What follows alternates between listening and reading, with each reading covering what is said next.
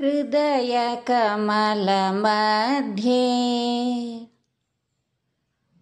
राजितं निर्विकल्पम् सदसदखिलभेदातीतमेकस्वरूपम् प्रकृतिविकृतिशून्यम् नित्यमानन्दरूपम्।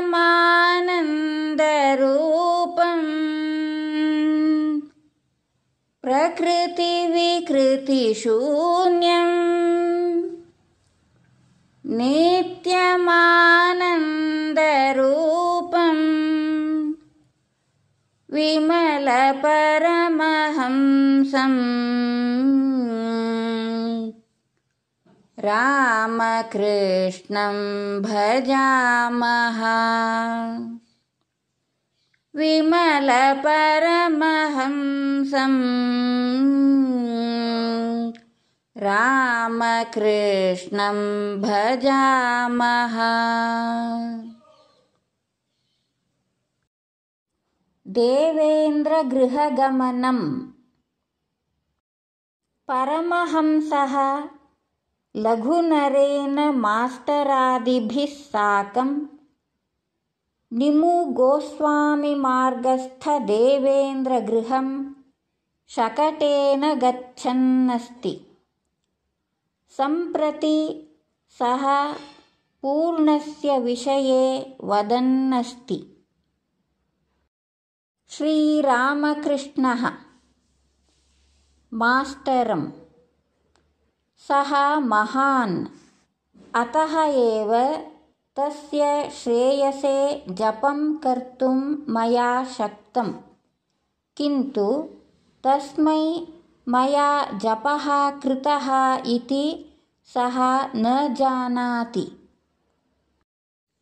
लघुनरेणः हसन्नस्ति यत् तत् दृष्ट्वा परमहंसः अपि हसन्नस्ति अन्ये अपि हसन्तः सन्ति। आनन्दभरितः परमहंसः लघुनरेन्द्रम् अङ्गुल्या निर्दिशन् मास्टरम् अवदत् पश्य। तत्र पश्य। किमपि न जानन् बालकः इव सः हसन्नस्ति यत् तत् पश्य सम्पत्तिः पत्नी धनम् एतेषां त्रयाणाम् आसक्तिः तस्य हृदये ईषदपि नास्ति। यस्य हृदये कामकाञ्चनासक्तिः भवति तेन भगवत्साक्षात्कारः न लभ्यते इति दक्षिणेश्वरे परमहंसः कदाचित् देवेन्द्रं कदाचित् तव गृहम् आगन्तुमस्मि इति उक्तवानासीत्। तदर्थं देवेन्द्रः भवता एकस्मिन् दिने मम गृहम् आगन्तव्यम् इति प्रार्थयितुमेव अहम् अत्र आगतवान्। आगामिभानुवासरे भवता आगन्तव्यम् इति उक्तवानासीत्।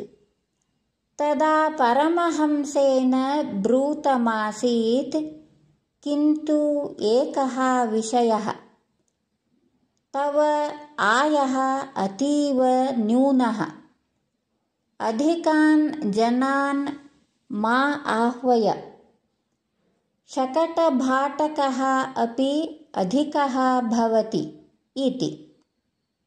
तदा हसता देवेन्द्रेण कथितम् आयः न्यूनः इति किमर्थं भेतव्यम्?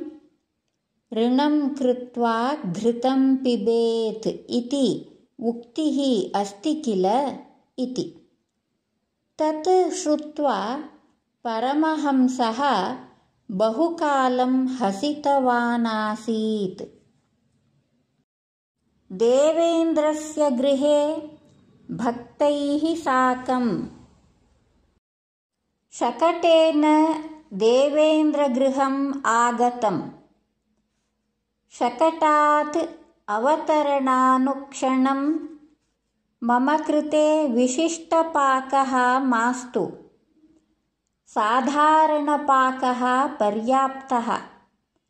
अद्य मम शरीरारोग्यं तावत् सम्यक् नास्ति इति परमहंसेन देवेन्द्रः भणितः। सायङ्काले परमहंसः देवेन्द्रगृहस्य बैठक्खानायाम् उपविष्टः अस्ति। लघुनरेणः रामः मास्टरः गिरीशः देवेन्द्रः इतोपि कतिपयभक्ताः च तं परितः उपविष्टाः सन्ति। दीपः ज्वालितः अस्ति कमपि एकं युवकं दृष्ट्वा महता आनन्देन परमहंसः तं प्रति अङ्गुल्या निर्दिशन् भक्तान् वदन्नस्ति। मनुष्यस्य संसारबन्धनस्य कारणत्रयम्। भूमिः पत्नी धनं च एतत्त्रयं संसारबन्धनकारणम्।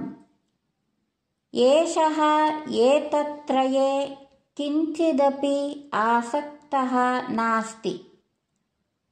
एतत्त्रये आसक्तं मनः भगवन्तं प्रति न प्रवहति।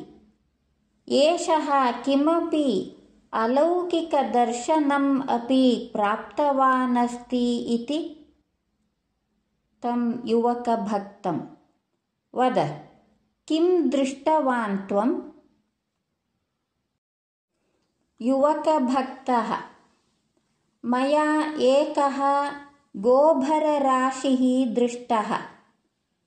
कतिपये तस्य राशेः उपरि उपविष्टाः आसन् कतिपये तस्मात् राशेः किञ्चित् दूरे उपविष्टाः आसन्।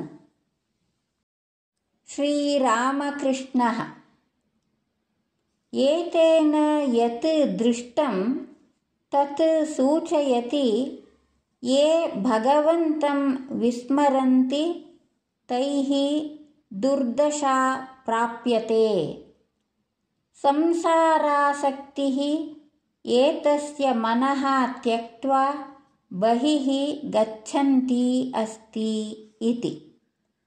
मनसः कामकाञ्चनासक्तेः अपगमनं किं साधारणं वा? भक्तान् मानसात् कामकाञ्चनासक्तेः निर्गमनानन्तरं केवलं ब्रह्मानन्दः एव